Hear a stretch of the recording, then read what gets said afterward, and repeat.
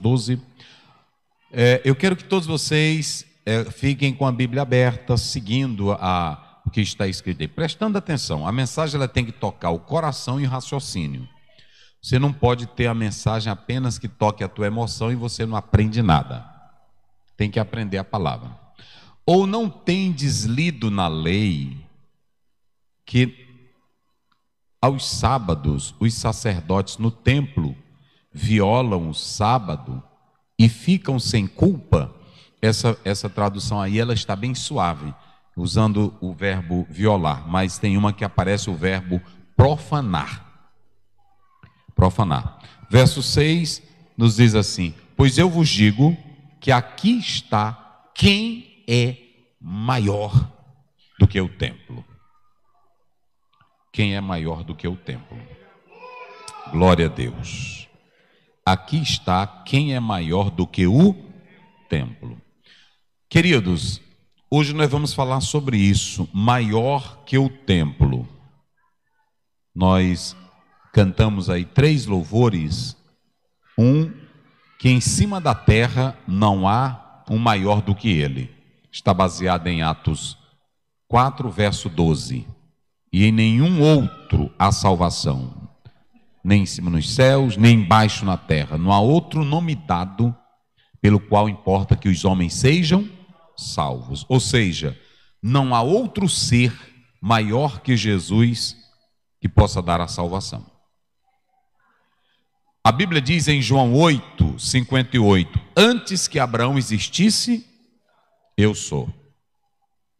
A Bíblia diz em Filipenses 2,9: E Deus o exaltou e lhe deu um nome acima de todo nome, para que se dobre perante ele todos os joelhos.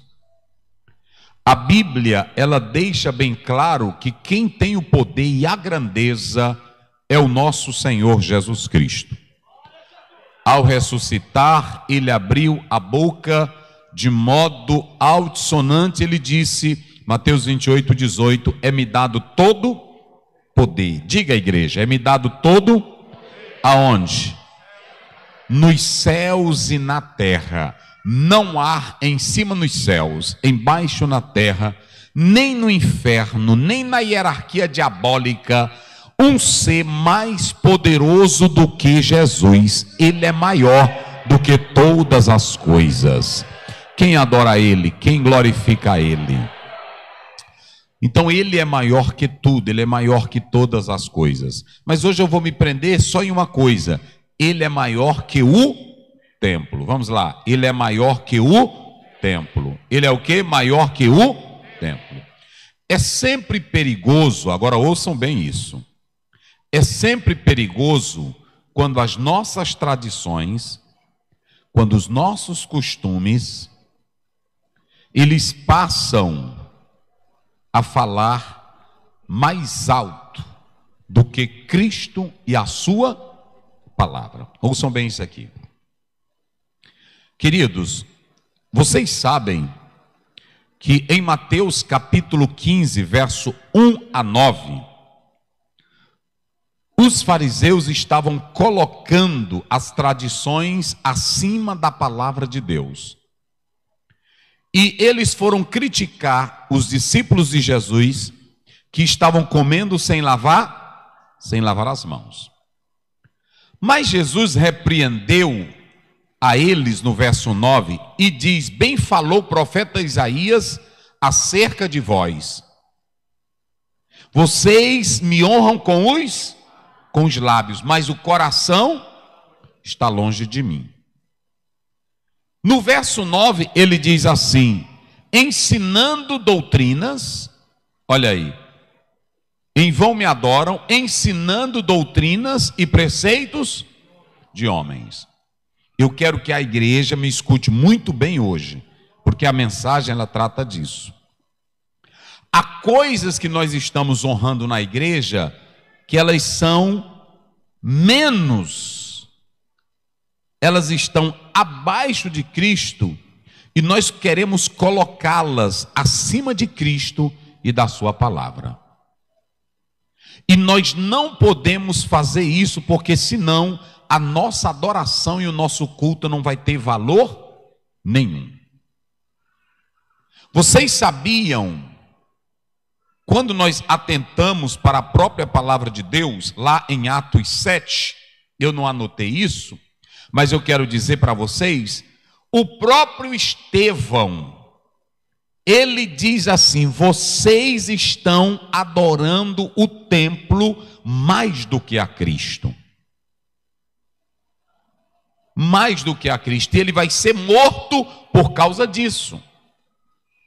Então, às vezes, as nossas tradições e os nossos costumes não bíblicos, ouçam bem, não bíblicos, mas dos homens, estão matando as nossas igrejas. Eu gosto da Bíblia e de ficar com a Bíblia. Tudo que eu vou falar, o que eu vou pregar, eu gosto de saber se está na Bíblia. Mas olhem para cá. Não é apenas saber se está na Bíblia, porque tem gente que usa a Bíblia até para matar. A questão é eu saber, pela direção do Espírito Santo, saber interpretar a Bíblia hermeneuticamente e exegeticamente. A Bíblia, ela tem a linguagem figurada.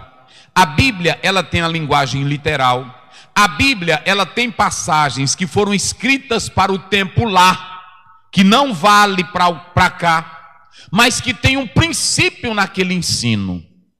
Vocês entenderam? A Bíblia, ela é tão linda, ela é tão importante, até na lei. Tem irmãos, eu vejo aí na internet, o pessoal pregando, dizendo: olha, a lei, quem estava debaixo da lei, estava debaixo da maldição. A lei do pecado, gente. A lei de Deus, ela é boa. Paulo nunca disse que a lei não prestava, ele disse que o homem não conseguia, pela sua força, cumprir a lei. Ah, Pádua, ser justificado por porque no Velho Testamento eles queriam ser salvos pela lei obra. Ora, se eu disser que a lei não presta, eu estou dizendo também que Jesus não presta. Porque Jesus disse assim: a lei de mim testifica. E quando você vai para João 1,17, a lei foi dada por. Mas quem foi que deu a lei para Moisés? Foi Deus. Quando a Bíblia diz a letra mata, não era a letra da lei que veio de Deus, era a lei do judaísmo legalista. A lei é chamada de Torá. Torá é a lei divina. Quando você abre a sua Bíblia em 2 Timóteo 3,16, que diz assim: toda escritura divinamente inspirada, ali é uma referência a todo o Velho Testamento. Quando Jesus disse em Lucas 24: A lei testificou de mim nos profetas e nos salmos. Era o Velho Testamento, é a divisão da Bíblia hebraica, a Tanache. Então tem muita gente que está falando errado que a lei não presta. Eu vou só dar um exemplo aqui para vocês. E essa é uma, é uma tese que eu estou desenvolvendo no doutorado de teologia, a hermenêutica bíblica e espiritual de Paulo. Tem pessoas que dizem assim: o dízimo era no tempo da lei, não tem necessidade hoje. E eu estou provando nessa tese que tudo que Paulo escreveu da teologia dele, da exegese dele, é do Velho Testamento. Não tem quase nada para você desprezar do Paulo que ele não usou do Velho Testamento. Quando ele foi defender os obreiros, olhe para cá, quem é contra? Quem é contra isso? Paulo diz assim: atarás a boca do boi que debulha. Ele disse: Não, senhores. E quem sustentava os sacerdotes e os levitas no Velho Testamento? Quem era? Era o dízimo. E se você analisar, quando Paulo diz digno é o trabalhador do seu salário, ele não está falando de trabalhador normal, ele está falando de trabalhador cultual.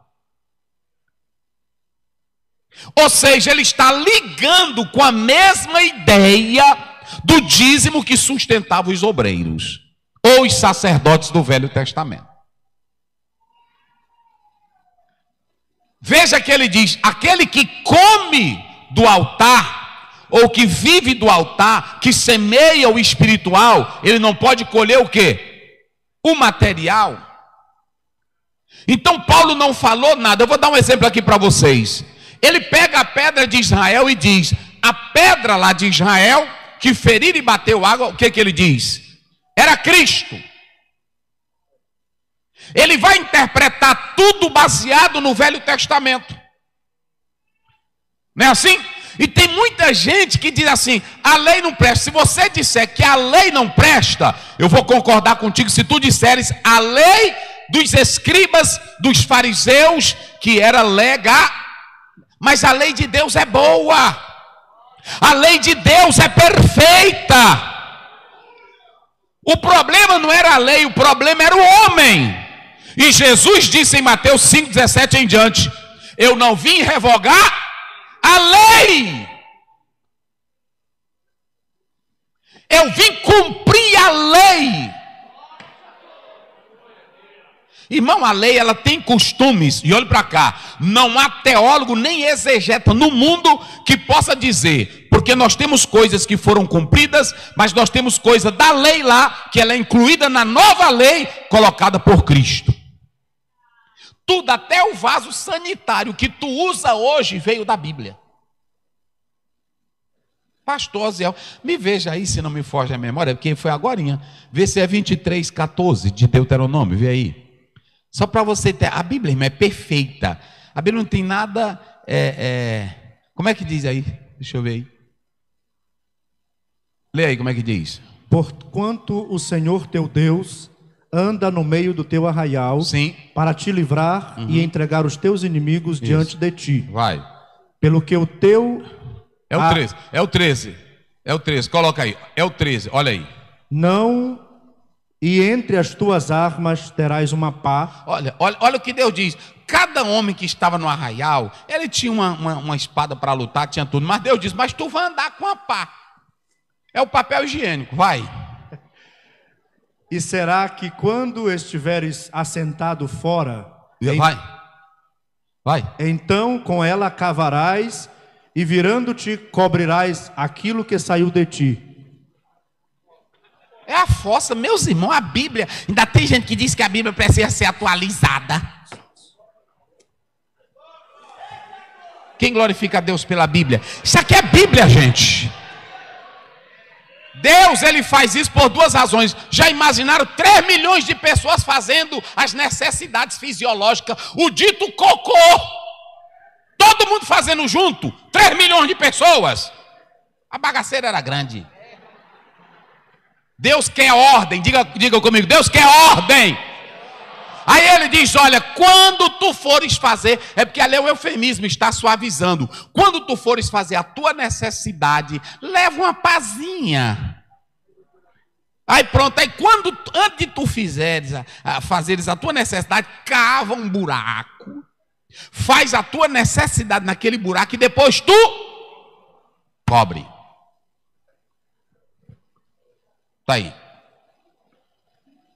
O que eu quero dizer aqui, olhem bem para cá. Tem coisas na lei antiga que foi colocada na nova aliança em Cristo, que ficou também o princípio. Tem muita coisa do Antigo Testamento que ficou o princípio. Então eu tenho que analisar isso com muito cuidado, com muita análise.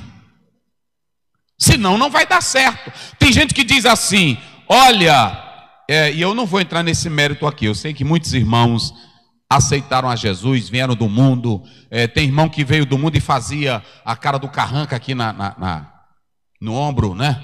É, a, a, a, a, tatuagem. Fazia a tatuagem do, do, do, do demônio aqui do lado. Tem irmão que veio do mundo e aí pronto, Jesus perdoa ele ou não perdoa quando ele aceita Jesus? Perdoa. Agora tem uma ideia hoje de pessoas dizendo assim: "Me prove na Bíblia que eu não posso fazer tatuagem". Prestem bem atenção. Tudo que Deus rebateu dos cananitas, ele rebateu antes da lei que era pecado. O grande problema é que tem gente que diz assim: não está na lei, mas antes Deus disse: eu vou destruir os cananeus, porque eles são imorais, perversos e pecame e pecaminosos. E eu não quero Israel que vocês aprendam o que eles fazem. Lá em, em, em, Gênesis 15, Deus já havia dito que ia tirar eles de lá. Agora, qual é o princípio? Aí se eu me ver se é, é, é Roma, 1 Coríntios 6, 13, vê aí. Rapidinho, deixa eu ver. É, é 6, 3, bota o 12 para mim ver se é, o 12. Deixa eu ver aqui. É isso aqui. Aí tem gente que diz assim: todas as coisas me são, mas nem todas as coisas, todas as coisas me são, mas eu não me deixarei dominar por nenhuma delas. Olhem para cá. Eu li um livro, ouçam bem, olhem para cá, e um, um dos maiores exegetas judeu, ele dizia o seguinte: Gênesis primeiro, e viu Deus que tudo era bom. Vamos lá, digam comigo, e viu Deus que tudo era? Ele vai dizer várias vezes, e viu Deus que tudo era? E viu Deus que tudo era? Quando Deus te fez, Ele te fez com defeito de fabricação? Ele te fez perfeito, teu corpo é lindo, teu corpo é maravilhoso. E esse exegeta, ele diz para não criar a distonação, para não criar desarmonia no universo, Deus estabeleceu o princípio da ordem. Olhe para cá, não misturarás os animais. O que, que Deus queria? Para que houvesse simplesmente uma ordem. Não misturarás várias cores na roupa, porque os cananeus, eles queriam adorar ídolos e misturavam as cores. Não marcarás os teus corpos. Aí tem gente que diz, mas é só a lei. Olha para cá, o teu corpo quem fez foi Deus. Não há coisa feia no teu corpo, não há nada nojento no teu corpo. Ainda que você venha usar alguma coisa no corpo, mas olhe para o princípio da criação e a ordem que Deus quer na natureza e no teu corpo. E no teu corpo. Então Paulo diz: tudo pode ser lícito, mas nem tudo convém. E há coisas que há princípios no Velho Testamento da lei que veio para o Novo Testamento. E é lei de Deus. Nós tínhamos leis que eram relacionadas a Israel e também para aquele contexto. Mas, por exemplo, é Êxodo 20, não matarás. No Novo Testamento tem não matarás? Sim ou não? Olha, no Novo Testamento, no Velho Testamento diz: Não falarás do teu pai, honra o teu pai e a tua. Jesus também diz: honra o teu pai e a tua mãe. Sim ou não? Toda lei, quase, pastor Gessa, ela foi repetida. Então não diga que a lei era maldição. Era maldição quem não cumprisse ela. A lei é santa, é perfeita, ela é boa. O problema foram os judeus e escribas que passaram a interpretar ela como peso. E aí vem agora, vamos lá, só para vocês terem uma ideia. Volta lá, Jorge. Aí nós temos tradições, digam comigo, tradições. Diga bem forte, tradições. E aí eu vou fazer uma pergunta aqui para vocês.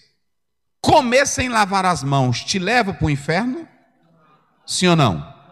Mas por que, que esses homens foram falar dos discípulos de Jesus? Eles estavam colocando uma tradição acima da. A tradição ficava acima da palavra de Pastor Ziel. E o que é tradição? Eu coloquei isso aqui só para você ter uma ideia. Tradição, paradoxes, se vocês analisar essa palavra aí, no original, essa expressão, é, é, ela, quer, ela quer dizer três coisas. Primeiro, uma informação. Segundo, um costume. É o sentido dessa palavra. Aquilo que é transmitido de uma geração para outra geração. Naquela época não tinha livros, não tinha escrito. Mas alguém recebia a revelação de Deus e passava para o homem de Deus e ele escrevia. Por isso que o que está escrito é mais valioso daquilo que alguém diz. Quando Jesus disse assim: "A lei e os profetas testificam de mim", ele diz: "Dá uma olhadinha lá atrás. Já pensou se não tivesse escrito?" Quando Jesus vai vencer Satanás, logo no início do ministério, Mateus 4, ele diz: Está, es, está escrito. Há um teólogo que diz: Eu dou, eu dou uma vírgula por aquilo que está escrito do que uma tonelada por aquilo que eu disse. O que está escrito é o que vale. Nós louvamos a Deus porque hoje nós temos a Bíblia. Já pensou se nós não tivéssemos essa Bíblia? O tanto de invencionice que ia ter por aí, meus irmãos. Então, em primeiro lugar, tradição, olhem bem, tradição é aquilo que é transmitido de uma geração para outra. Só que tinha tradição oral dos judeus que eles passaram a valorizar mais do que a palavra de Deus. Aí está uma tradição oral. Eu li um teólogo que diz que a Bíblia fala em Êxodo 8, 20, versículo, capítulo 20, versículo 8 a 12, que fala sobre o Shabat.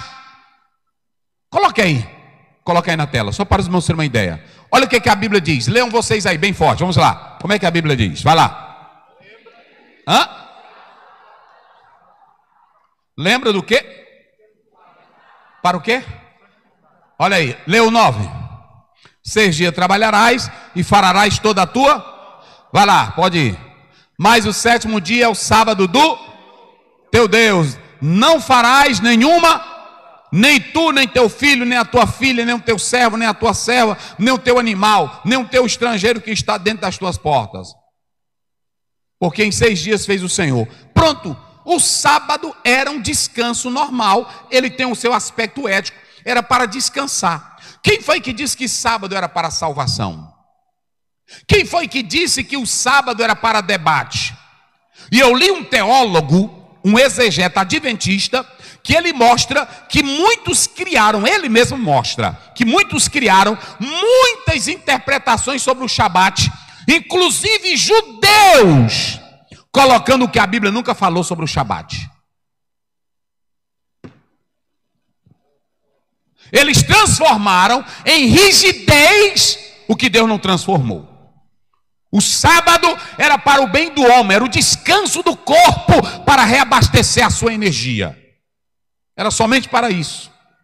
Mas aí começaram a colocar o sábado como um cavalo de batalha para a salvação.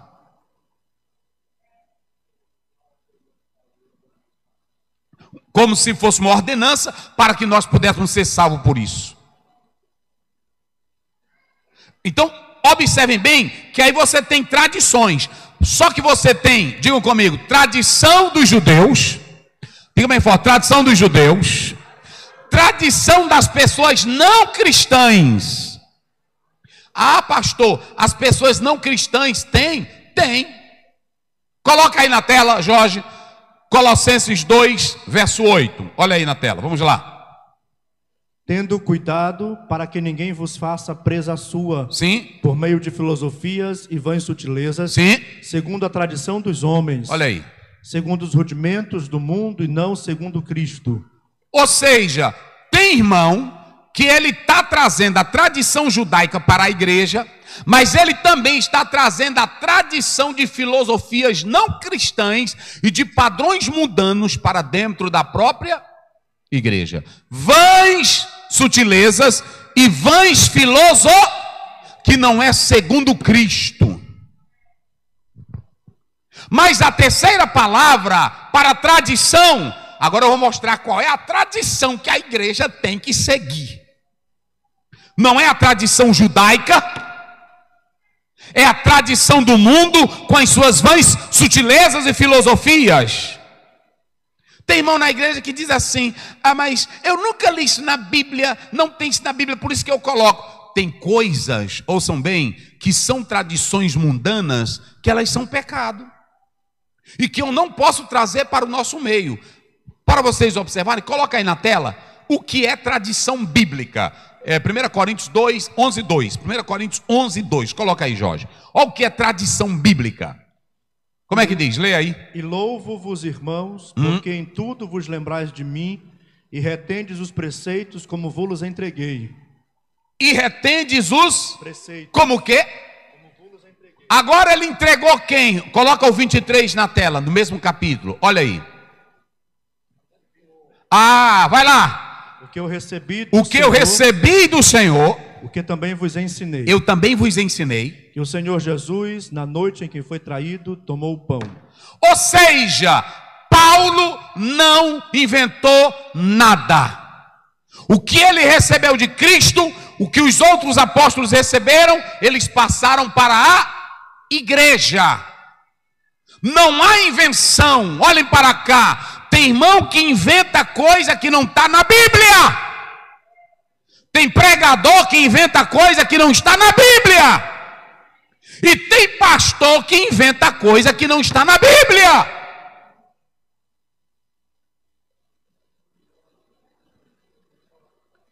Eu tenho que entender que a tradição da igreja é aquilo que os apóstolos ensinaram. Não vem inventar coisinha aqui, não, irmão.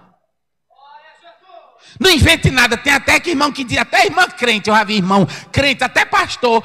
É, rapaz, eu nunca tinha visto isso. Aí é Deus, tem Deus na causa. Eu pergunto primeiro, tem Bíblia na causa? Porque Deus não vai invalidar a palavra dele para me honrar com movimentos. Em primeiro lugar é a palavra dele. Ele fala de acordo com as suas palavras. E tanto Paulo como Pedro disse: se alguém fala, fala segundo a palavra de Deus. Eu já vi pregador dizendo: Olha, tem pessoas hoje que querem impedir o mover de Deus. Deixa quebrar, deixa quebrar, deixa a tampa da chaleira voar. Onde é que tu leu na Bíblia que é para a tampa da chaleira voar? Se tu me mostrar, eu sou o primeiro a deixar ela voar. Me mostra. Eu não sou contra o poder de Deus, gente. E olha como a igreja era criteriosa. Atos 10, quando Pedro vai na casa de Cornélio, os anciãos querem saber por que, que ele foi lá. Ele explicou ou não explicou, Gesso? Depois que ele explica, ele diz: Meus irmãos, vocês sabem que eu tenho a mesma tradição de vocês. Mas o que aconteceu em Atos 2 é coisa linda. Quem glorifica a Deus? O que aconteceu em Atos 2, assim como o Espírito desceu sobre nós, o dom do Espírito, eu vi descer sobre os gentios e eles falaram línguas. Oh, glória! Não é questão de tu inventar. Olha para cá. Não faça nada do que, não, que não, não tem aqui. Não faça nada. Eu vou só te dar mais um exemplo aqui. Olhe para cá. Não faça nada. Não invente. O maior homem que escreveu do Novo Testamento, quem foi? Quem foi o homem que mais escreveu? Paulo. Ele escreveu quantas cartas? Treze. Ele foi o homem que teve mais revela. Ele foi até o terceiro. Ele foi arrebatado. Mas um dia ele foi pregar para os irmãos bereanos. E quando ele terminar de pregar, o que, que os bereanos faziam? Ah, vamos lá, vamos lá para esse texto, é o 17 de Atos. Vamos botar aí na tela que tem irmão que fica. Rapaz, eu fui ali no movimento, eu vi Deus na causa. Primeiro lugar, quando tu chega lá, tu vê, rapaz, tem fundamento, deixa eu ver na Bíblia. Deixa eu analisar na Bíblia. É porque tem irmão que diz: olha, se o Daniel Berg e o Gunavinho pulava de cima de pé de pitomba, cheio do poder, ele podia pular, porque é uma coisa dele, mas a Bíblia não manda. A Bíblia nunca mandou cheio do Espírito Santo por de cima de um pé de cajá. Tem na Bíblia?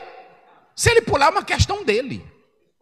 É pessoal, é a experiência dele. A Bíblia diz em Atos 2, 1 a 4: estavam todos reunidos no mesmo lugar. De repente veio do céu um vento veemente, impetuoso, e encheu toda a casa onde eles estavam, assentados e foram vistas línguas repartidas. Eita, meu Deus do céu. Só quem glorifica. É do jeito que tu tá sentadinho aí. Tu pode sentir poder de Deus, tu pode falar línguas, tu pode glorificar o eterno. Mas vocês só querem se eu correr aqui dentro e aí jogar o terno. É assim que eles querem. Se eu, se eu pulasse daqui, corresse aí, tirando daqui, aí na mesma hora tinha uns crentes caindo aí, rolando. Aí pronto. Aí os que não tem Bíblia diz: hoje o céu desceu. O céu desceu coisa nenhuma, só zoada. 17 11, coloca na tela. Lê aí. Estes foram mais nobres do que o que estavam em Tessalônica. Essa palavra nobre é um título aplicado para quem é filho de rei, é de nobreza. Porque de bom grado receberam a palavra, examinando cada dia nas Escrituras se estas coisas eram assim. Por que, que você não escuta? Olha para mim aqui. Por que, que você não escuta o pastor Oziel? E antes de concordar com o que eu falo aqui, por que, que tu não vai consultar na Bíblia, saber se eu estou pregando a verdade? Você não pode ouvir a mim e logo dizer: Eita, homem de Deus! Examine se o que eu estou pregando está na Bíblia. Um dia eu estava pregando num evento, numa festa, e aí pronto, eu preguei, preguei, quando terminei, aí eu ia saindo, um irmão disse, eu quero falar com o senhor. Eu disse, por não. Ele disse, muito bem, hoje você fez certo. Eu disse, eu fiz certo o quê? Porque ontem o pregador que estava aí não citou um versículo da Bíblia e tudo que ele citava estava errado. Eu conferi cada um que você citou. Pá, pá, pá, pá, pá. Tu tá certo. Eu disse, ah, esse aí é crente. É assim que crente faz, irmão. Aí pronto, aí você pode estar tá anotando aqui o Espírito. Isso aqui não tira unção do Espírito Santo, não. Tu está anotando aqui, vendo a maravilha de Deus. Eita, pregador do céu. Rapaz, ele só está citando Bíblia. Aleluia, Jesus. Eu confirmei bem aqui. Aí ele citou, eita glória, é de Deus. É a palavra que vai te alegrando, porque ela é viva, ela é eficaz, mais penetrante do que uma espada de dois gumes. Só quem crê no poder da palavra, levanta a tua Bíblia aí, crente salvo. Levanta ela, levanta. E dê glória a Deus. Eita coisa boa. Mas vamos lá para me correr aqui. Aí vocês agora já sabem. Coloca aí 2 Tessalonicenses 3,6 para fechar aqui a tradição. Vocês agora entenderam já o que é tradição. Já expliquei para vocês. Vai lá. Mandamos-vos, porém, irmãos, em nome do nosso Senhor Jesus Cristo, Ó. que vos aparteis de todo irmão que andar desordenadamente e não segundo a tradição que de nós recebeu. Tá vendo como é as coisas?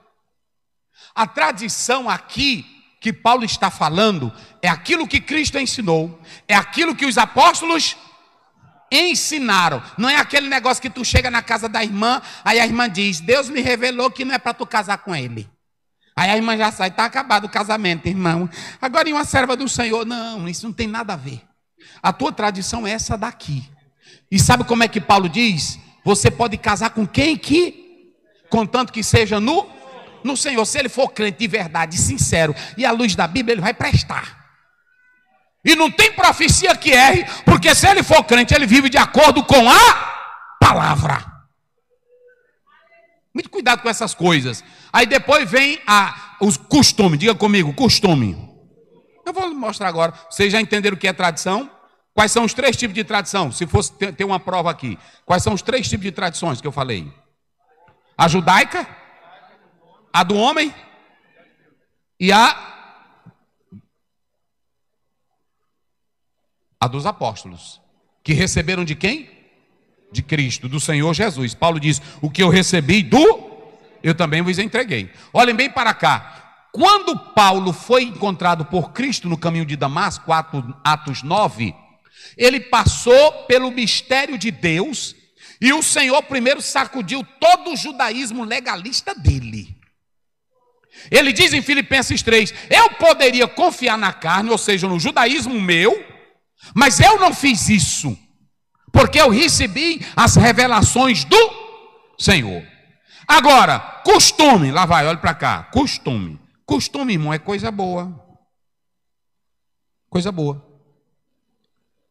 Olha para mim aqui. Costume é coisa boa. Costume é coisa boa. Olha que eu vou falar um assunto bem sério aqui como é gravado, muita gente gosta de polêmica, e os teólogos também, tem uns teólogos que não são crentes, eles já começam a inventar. Mas eu vou puxar tanto pelo direito como a Bíblia. Se você pegar o Código Civil, diz assim: não tendo lei, quem é advogado aí sabe disso. Se julgará pela analogia, não é assim? E também se julgará pelos costumes. Ou seja, um hábito bom hábito bom e saudável que ele vem sendo praticado em uma comunidade. E se não tem lei, mas aquela comunidade já segue aquele costume, aquele costume se tornou o quê? Uma lei. Costume bom, que não tem versículo na Bíblia que manda, mas se tu fizeres ele, tu vai ser abençoado. O costume de lavar o quê? Ah, irmão, qual foi a primeira medida para tu não pegar Covid? Vamos, diga aí vocês. Qual foi a primeira medida para não pegar Covid? Lavar a mão. E eu pergunto: lavar a mão vai te levar para o céu? Mas vai tirar os micróbios da tua mão. É assim ou não é? É um costume que é bom, sim ou não? Tem coisas que a Assembleia de Deus faz, agora ela vai, que não está na Bíblia, que adotou como um, um costume que é um uso e costume, é um hábito nosso, mas que é, é que é bom. Eu pergunto aqui, a Assembleia de Deus pregar que a irmã dá vestida bacaninha, é bom ou é ruim? Hein? A, a mulher andar decente, é bom ou é ruim? Paulo diz que as mulheres usem trajes, trajes decentes. A, a, a, a linguagem lá é, é do exército traje perfeito como um traje do exército. Uma roupinha toda bacana. É. É claro que eu não posso mandar, irmã, se vista assim. Não, a Bíblia está dizendo que a mulher tem trajes decentes. Então, isso é bíblico. E o pastor falar sobre os bons costumes, está certo ou está errado? Está certo. Isso é uma coisa boa. É uma coisa boa. Por exemplo, nós da Assembleia de Deus não temos o costume de ser tatuados. E aí eu digo assim: olha, meus irmãos, nós não temos esse costume. Recebemos um irmão, eu recebi uma pessoa aqui que tinha tatuagem até quase no olho, mas era do mundo. Pastor, era quando eu estava na bagaceira. Um dia eu fui expulsar um demônio de um rapaz, que ele era do tráfico, e aí eu fui lá orar por ele. Chamaram para me orar, ele tinha saído da cadeia, e aí eu fui mais um irmão. Quando cheguei lá, o demônio estava nele. Mas ele tinha tatuagem, ele só não tinha tatuagem aqui, ó, bem aqui. Dentro do olho. Pronto. E aí também tinha tatuagem que era dizendo quanto ele já tinha matado. Eu disse, eita, tá cheio do cão mesmo. Aí eu chego lá, eu como um homem de Deus, eu disse, olha que coisa linda. Eu vou fazer também. Não é o meu costume. Então tem coisas que não é do comportamento da igreja. E se eu tenho que ser sal e luz, a Bíblia diz em Mateus 5,16: que eles também vejam as vossas boas e glorifiquem ao meu Pai que está nos, nos céus. É um padrão de vida que eu tenho que mostrar também.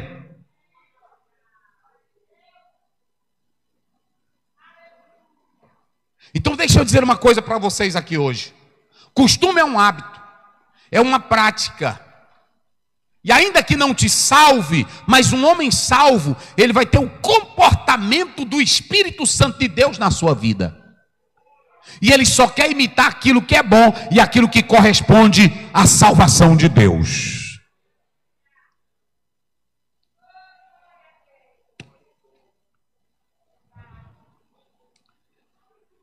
É, meus irmãos. Tem coisa que a gente tem que falar, mesmo que o pessoal não goste, mas é Bíblia. Isso é chamado de ethos, é chamado de costumes, hábito. E hábito bom tem que se manter. Pois é, é hábito bom, coisa boa. E Deus não queria que o povo dele imitasse nada dos cananeus, porque os cananeus era a força do pecado da época. Tudo que não tinha, que não prestava, sabe por que, que Deus vai tirar os cananeus da terra? É porque eles faziam tudo que não prestava. Matavam criança. Botavam no corpo deles, eles faziam sinais da lua no corpo para dizer que aquilo era Deus. Fazia símbolo do zodíaco no corpo. E quando Deus disse em Êxodo 19: Vocês serão minha nação santa, a ordem é a minha palavra. Quem quiser botar, pode. Mas vocês que entraram na aliança, é do jeito que eu quero, é do jeito que a Bíblia diz. Eita, meus irmãos, é diferente. É diferente. Aí Malaquias 3,18, e outra vez vereis a entre o que serve a Deus e o que não serve.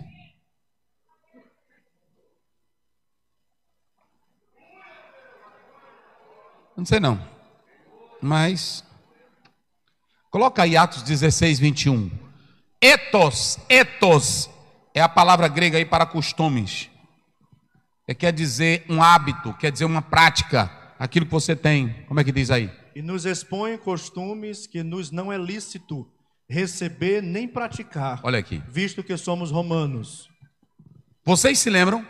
Aonde foi que Paulo pregou isso aqui? Que ele foi preso e ele levou uma pisa em Filipos. Não foi, Gesso? Agora pergunta aqui a igreja. E o que foi que a comunidade de lá, as autoridades disseram que ele estava falando?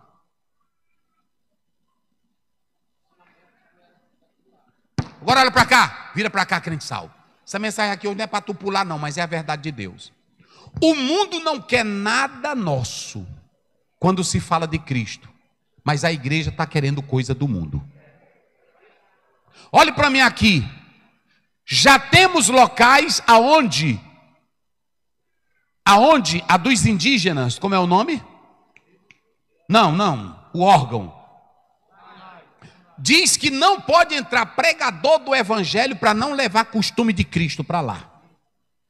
Porque ele tem os seus próprios costumes. Você não vê uma moça lá fora que não tem Deus dizendo assim: Eu quero imitar essa moça que tem o um Espírito Santo. Você vê? Mas você vê moça da igreja querendo imitar a moça do mundo que não tem comunhão com Deus. E a Bíblia, tu pode achar bom, tu pode achar ruim. A Bíblia diz que aquele está lá em Tiago. É 4,4? Bota! Bota na tela. Aquele que se faz amigo do mundo. De quem tu é amigo? Pergunta aí pro teu irmão. Tu é amigo de quem? Fala aí. Tu é amigo de quem? Me diz. Eita glória. Quem glorifica a Deus. Sabe por que, que as autoridades deram a pisa em Paulo e Silas. Não tem aquele hino que vocês cantam? Paulo, por que, que tu está preso? Né? Sabe por que, que tu está preso? É porque tu veio falar de Jesus.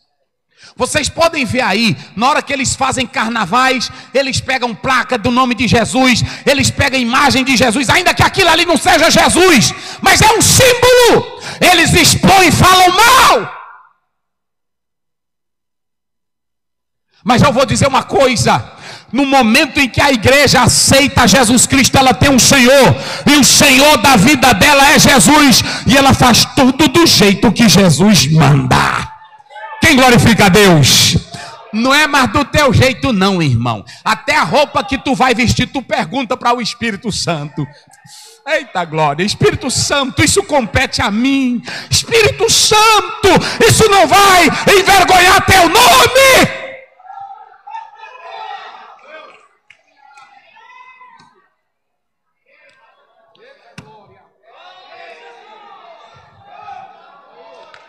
É.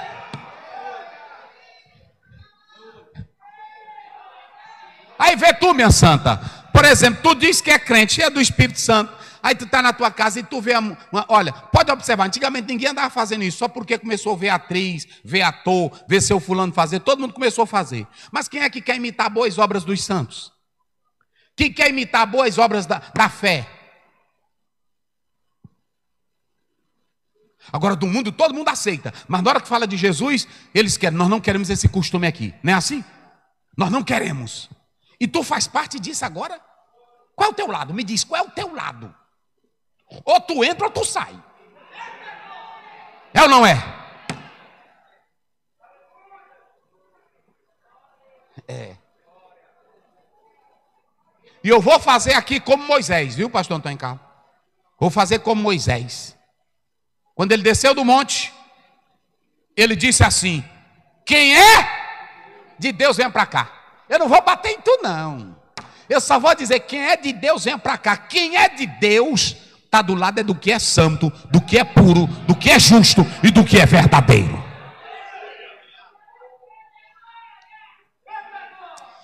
Eita, meu Deus. Agora vamos lá. É, hoje eu demorei na introdução porque era o jeito para mim chegar. Agora eu vou mostrar para vocês aqui uma coisa. Vem para cá, olha para cá. Jesus, eu preguei já na semana passada. Jesus, ele foi entrando. E eu vou dizer uma coisa para vocês: toda pessoa que só tem tradição, quando ele não tem Bíblia, ele vem para a igreja só para falar mal dos outros, porque ele não tem Bíblia. Quem tem Bíblia é diferente. Jesus, quando entrou na seara, mas os discípulos, que eles foram saindo do meio da, da roça, que eles foram saindo com um monte de espiga na mão, comendo, aí eles disseram: Olha, trabalhando no dia do sábado. Aí Jesus que não, não pega, olha para cá, não tem deslido. Se vocês analisarem, isso está no segundo auristo, que é só diferente da escrita, mas é a mesma coisa do primeiro auristo. Ele diz assim: olha, não tem deslido. Sabe qual é o problema do povo? É que o povo não não lê. Vocês não leem, meus irmãos. Tem irmã aqui que, se eu pedir para ela citar o versículo mais pequeno do Novo Testamento, olha lá. Eu sei que tem. Mas quem quer citar aí rapidinho? Só as irmãs, qual é? Olha, Jesus chorou. João 11, é 35. Olhe para cá, a questão é ler Bíblia. Jesus diz: vocês não leram? que quando alguém está com fome, pode pegar espiga no dia de sábado para comer. Aí o primeiro argumento: Davi comeu os pães. Quem era que podia comer dos pães? Só os sacerdotes. E por que que Davi comeu na mentira que Davi mentiu lá? Davi mentiu e os homens também, ele pensava que estava numa missão especial, o sacerdote Aimeleque, e ele estava era fugido. Eu pergunto aqui: Davi mentiu, comeu do pão santo, que é só para o sacerdote, ele morreu? Diga vocês, ele morreu? Mas por que, que ele não morreu? Por quê? Diga. Houve uma necessidade. Ele não morreu porque houve uma necessidade. Segundo argumento, olha para cá, agora coloca aí, olha. Você não tem lido, ele vai usar outro argumento que os sacerdotes, olha que é lindo, irmão, no dia do sábado, que não é para trabalhar, que não é para acender fogo, que não é para fazer nada, no dia do sábado, o que que o sacerdote faz? Ele carregava carneiro, ele carregava pedaço de lenha nas costas, o levita, porque acender fogo naquela época não era como hoje, não. Coloca aí números. Me parece que é 28, 8 e 10. Coloca aí. Rapidinho, vamos lá. E o outro cordeiro sacrificarás de tarde, uhum. como a oferta de manjares da manhã e como a sua libação, o aparelharás em oferta queimada de cheiro suave ao Senhor. Porém, no dia de sábado. Olha aí, eu não estou conversando conversa fiada aqui. No dia de sábado. O que, que, ele é para fazer no dia de sábado? Dois cordeiros de um ano. A, a, a, aumentava o trabalho sem mancha, sem mancha, e duas décimas de flor de farinha. E o que mais? Misturadas com azeite. Vai. Em oferta de manjares com a sua libação. Bota o 10. Holocausto é do sábado em cada sábado, além do holocausto contínuo e a sua libação. Jesus diz: quer dizer que eu não posso pegar uma espigazinha de milho, que eu não estou nem assando ela. Mas, rapaz, mas é, é demais mesmo. Eu estou morrendo de fome pregando o evangelho, mas meus discípulos, eles não têm dinheiro. A lei me permite eu com fome entrar no mato e comer. Aí só porque eu peguei umas espigas. E a lei dizia, aí Jesus disse: "E por que que Deus não matou Davi?" E por que que no dia de sábado o sacerdote acende fogo, mata cordeiro, mata novilho, prepara farinha de puba? Eita, irmão. É aqui que é gostoso. Isso aqui, irmão, se tu tiver Bíblia, na hora que uma pessoa vier com essa besta perto de tu, tu mostra. Porque tem crente que não tem nada de Bíblia. Ele disse assim: no dia, olhe para cá, no dia de sábado, para exaltar a Deus, para glorificar a Deus, para fazer culto a Deus. O trabalho do sacerdote está acima da, da lei. Aí Jesus diz assim: toda regra, olha o que Jesus está ensinando aqui: toda regra tem uma. Os judeus, eles dividiam a lei em 613 preceitos.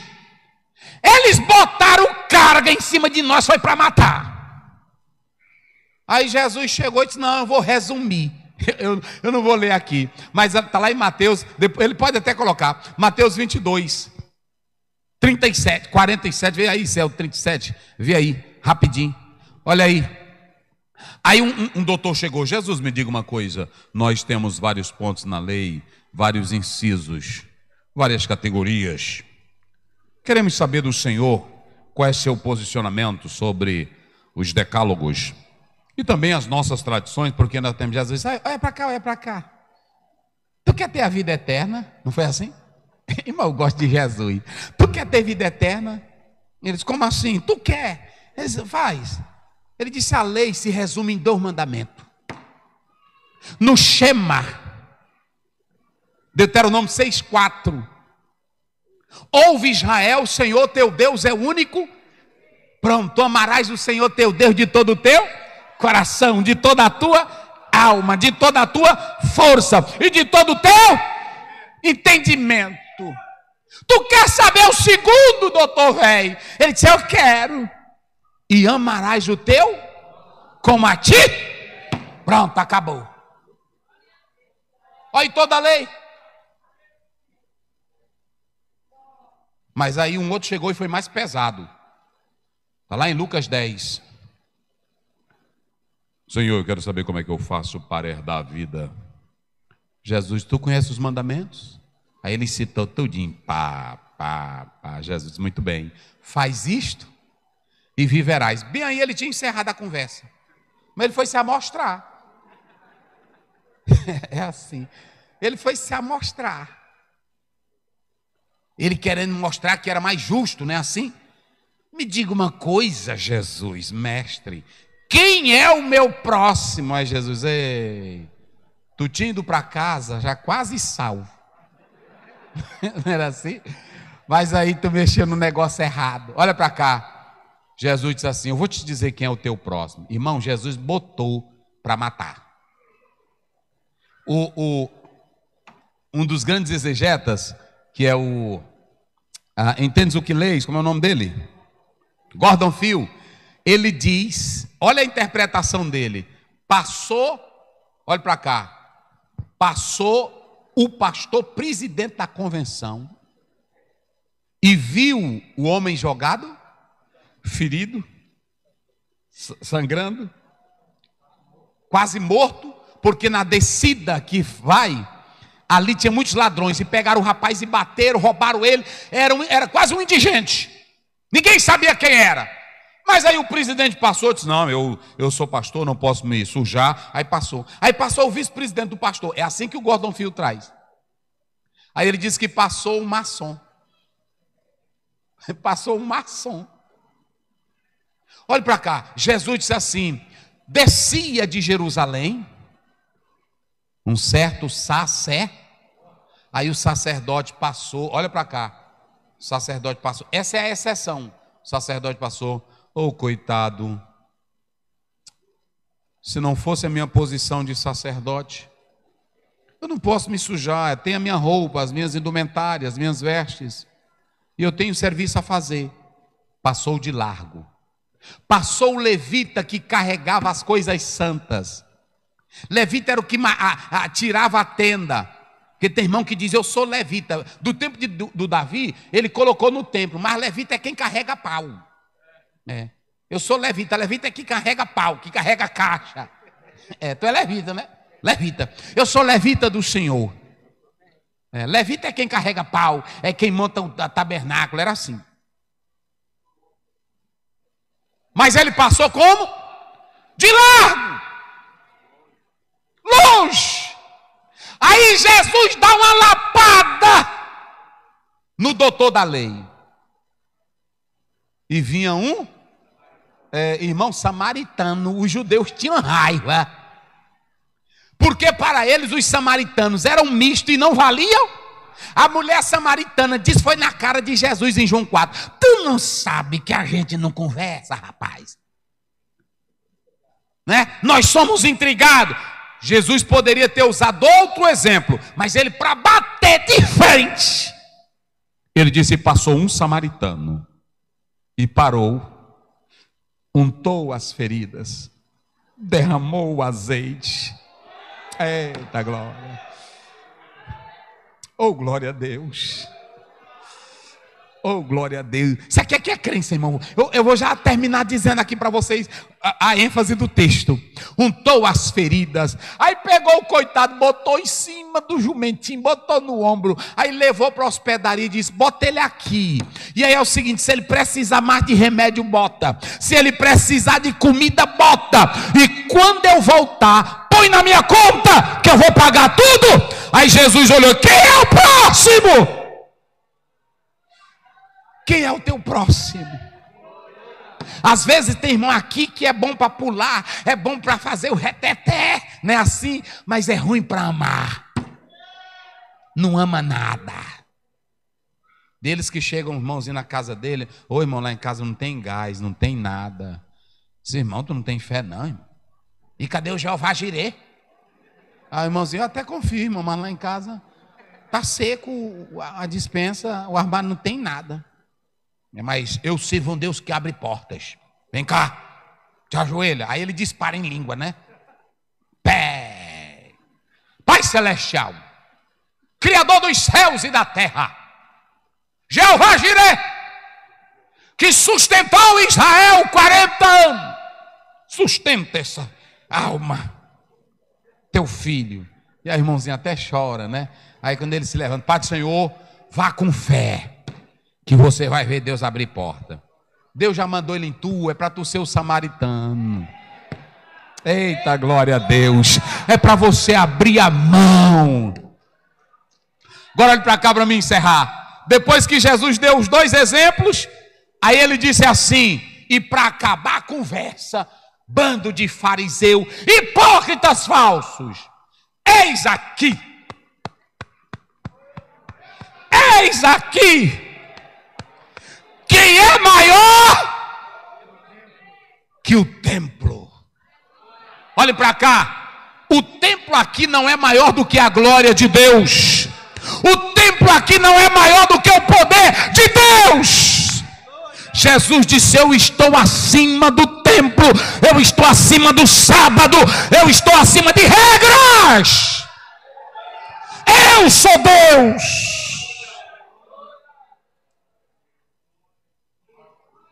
Quando você lê 1 Reis 8, 27, Deus diz: nem o templo, o templo, irmão, era muito lindo. Vocês sabem, o primeiro templo construído lá no Monte Moriá, por Salomão. O segundo templo construído por Zorobabel, porque foi destruído pelos babilônios. O segundo templo foi construído por Zorobabel. O outro templo foi reformado por Herodes, que durou aí 46 anos, que era belo, era bonito. E aí um soldado do general Tito entrou lá e destruiu o templo. Mas o templo se tornou uma idolatria do povo de Deus. Sabe por quê? Porque o templo hospedava. Vocês sabem quantos sacerdotes trabalhavam no templo? 7.200. Aquele negócio que vocês. Tem irmão que diz assim: tem uma banquinha dos irmãos que vende livro aqui, aí bota um livrozinho ali embaixo. Aí o irmão diz assim: estão fazendo da casa de Deus negócio. É não, irmão, que eles estão vendendo é Bíblia. Eles estão vendendo a coisa de Deus. Lá, quem estava fazendo negócio não era o povo, não, eram os sacerdotes. A maioria em pecado, se valendo da miséria dos pobres. E eles, é isso. Eles viviam daquilo.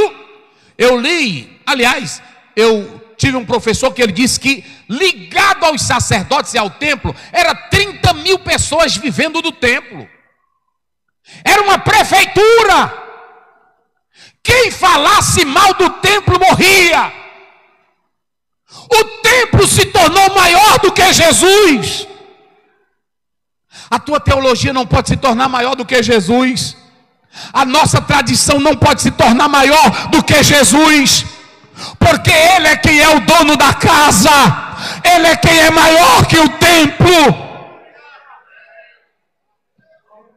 Coloca aí na tela. Para tu anotar aí, finalizando aqui. Por que, que Jesus é maior do que o templo? Primeiro, as regras, elas possuem as suas exceções. Jesus deu mais valor à vida do que às regras.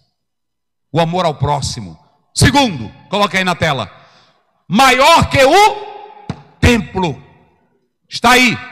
Não devemos colocar as tradições humanas em posição maior, tirando a prioridade da palavra. Louvor é importante? É ou não é, irmão? Quem é mais importante aqui? É o louvor ou é a palavra? É o cantor ou é a palavra? É o pastor ou é a palavra? O pastor pode ser o maior pregador do Brasil ou do mundo, mas ele só é o mensageiro. A palavra é de Deus, a mensagem é de Deus, o milagre é de Deus.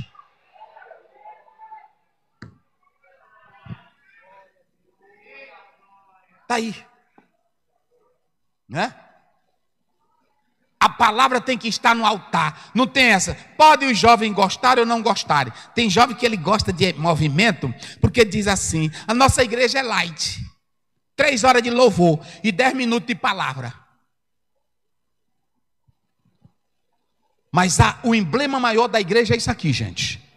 E olha para cá, se isso aqui não mudar a tua vida e não sustentar a tua vida, não tem outra coisa, porque a palavra é que traz alegria, é que traz poder e é que traz vida para a igreja. Tem mais aí? Pronto. Terceiro, por que, que ele é maior que o templo? Digam comigo bem forte: Jesus é maior que o templo. Nele habita toda a plenitude. E acabou-se a conversa.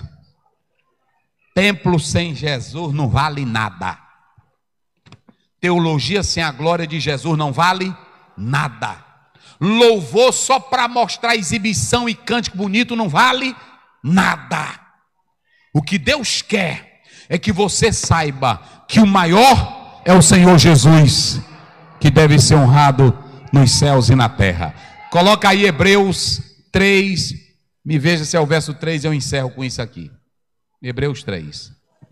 Porque ele é tido do que? De tanto maior glória. Vai do que Moisés. Por que, que Jesus é, tem mais glória do que Moisés? Por que, que ele é maior do que Moisés? Ele é antes de Moisés, não é assim? Mas Moisés era só um servo na casa. E quem é o dono da casa? Quem criou a casa? Então eu pergunto: quem é maior? É quem cria ou quem trabalha na casa? Então, olha, olha aqui, olha aí para você, diz aí, diga para o irmão, aqui dentro, diga aí para ele, aqui dentro, filho, Tu é só um servo na casa. Nós também, pastores, até eu, viu, Padre? Eu e tu, nós somos só um. Não entra aqui com o nariz empinado pensando que tu é dono de casa. Tu não tem nada de casa. Aqui não, vocês não cantaram? O poder é dele. A glória é dele. E quem não, como é que diz? E quem não concordar, vai lá reclamar com ele. Aqui entrou aqui, pode dizer para o quê, para o modo, para onde, mas se é de Jesus, está adorando a Ele, o mistério é dele, a glória é dele, o poder é dele, a grandeza é dele. E quem manda aqui?